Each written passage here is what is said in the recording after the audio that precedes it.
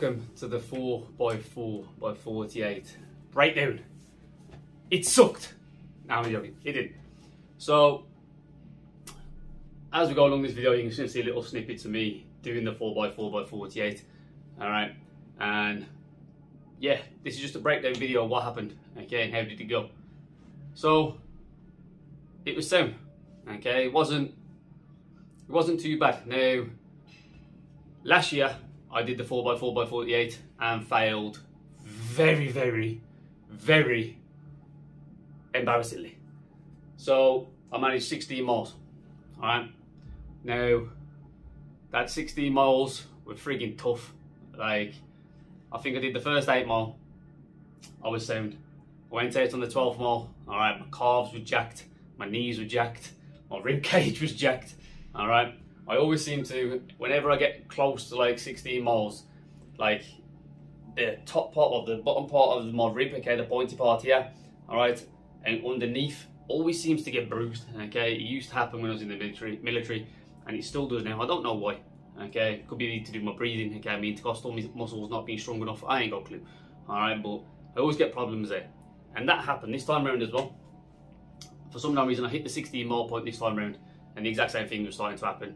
And even said to the, um, even said to my wife, I was like, Jesus, I was like, it's happened last year, it's happening again. But then it was fine after that. So started off at 4 a.m. in the morning. So 4 a.m. in the morning. Right, so first four mile box off, nice and peaceful on the roads.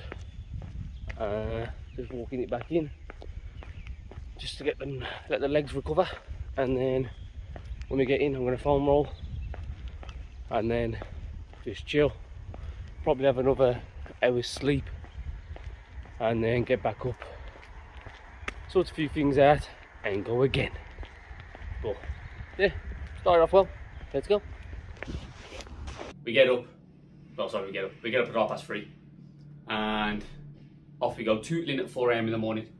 All right, and the 4 a.m. run is the little intro that you sort at start. So started off sound. Wasn't even wasn't a problem. Wasn't a drama. Um, we kept on moving, kept on going, nice and easy. Okay.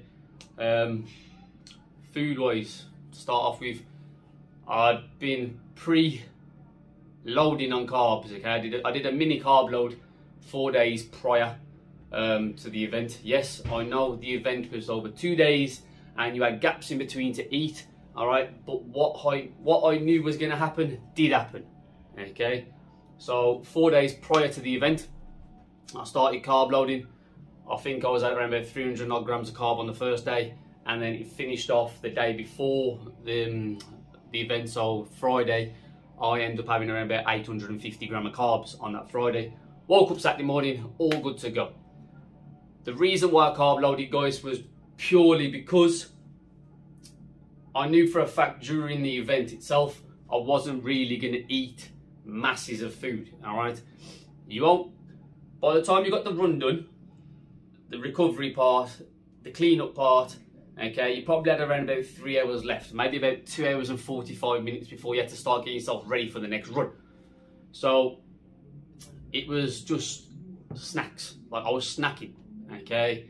So I try to make sure I get a minimum of 20 grams of protein post run, all right?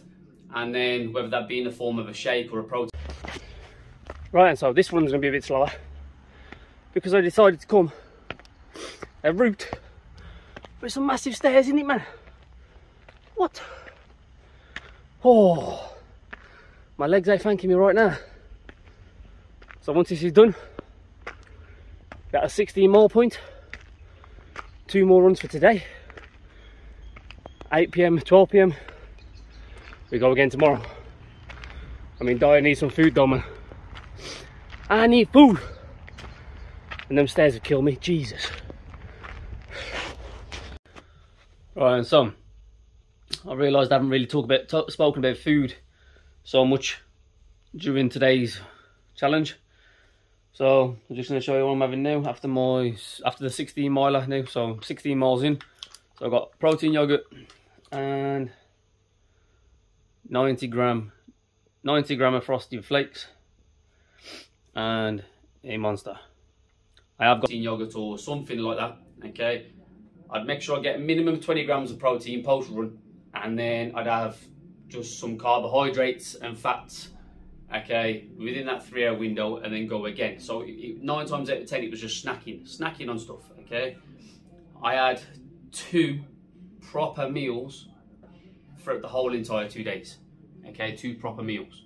And it's just because I can't stomach that amount of food before going out and doing a freaking four mile run. So it was just snacking, snacking a hell of a lot. Um, when did I struggle? Where did I struggle? So Saturday evening, okay. Saturday evening, I did my 8 p.m. run, okay. So this is all in the first day still, okay. Saturday evening, did my 8 p.m. run. That was fine. I was happy on the run. I come back, I was sound. The plan was to not fall asleep until after my 12 o'clock run and sleep between my 12 o'clock and my 4 a.m. run and my 4 a.m. and my 8 a.m. run. Okay, that was the goal. Sleeping, sleep between those two windows. Okay, and don't sleep before the 8 and 12. What did I do? I ended up falling asleep. So I woke up because I made sure I set an alarm just in case. I woke up and yeah, my head wasn't in that run. Okay, it's freaking 12 o'clock at night. I I just yeah, just my head wasn't in it. So I set out and literally I think for the whole first two miles I was talking myself out of it. Why the hell am you doing this? What the hell are you out here at 12 o'clock at night running like a knobhead? Okay. But at the end of the day I chose to do the challenge, okay? So at the end of the day, how can I be pissed off at myself? I chose to do the challenge. Um, I got two miles in, okay, because the way I worked it was I ran out two miles, I ran back two miles. That's way I did. I wasn't doing no laps of anything, forget that. Okay, I ran out two miles, ran back two miles. Um, but I got to that two more points on that tw- uh, that midnight run, and yeah, my head went to my head went to like shit. Yeah, I can officially say I'm in hurt like a hurt like a central right now. Like um yeah. This one sucks. All the rest of the runs have been alright man, but this one fucking sucks. I mentally ain't in it. I set my alarms just in case I fell asleep. The last bit of time that I saw was about 25 past 10. And then next thing you know, my alarm's going off. So I did fall asleep, I ended up having an hour. And when that alarm went off, I could not be bothered getting up. So I ended up freaking snoozing the alarm, snoozing the alarm, snoozing the alarm until it was like quarter to, ten to. So I didn't didn't have time to put Vaseline on my legs. Didn't have time to ice my ribs.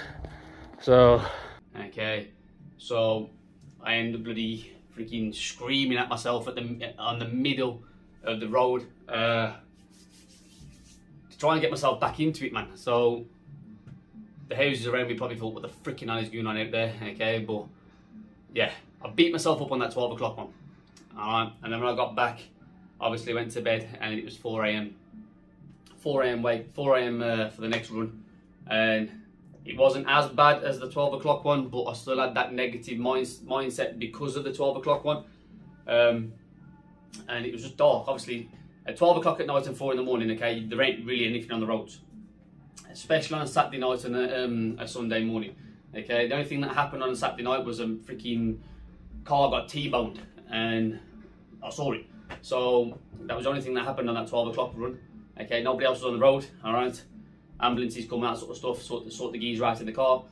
Um, but other than that, man, nothing happened. So you're on the road on your own. So you're bored as shit. Nothing's happening. Nothing. There's nothing to look at. Nothing to keep you interested. Okay, it's a mental battle. I, I didn't. Yeah, I didn't plan for that. If you know what I mean. I thought it'd be easy. Okay, I didn't think that. Didn't think it'd be a bad experience, but it turned out it was. So, yeah, 4 a.m. come still in that negative mindset.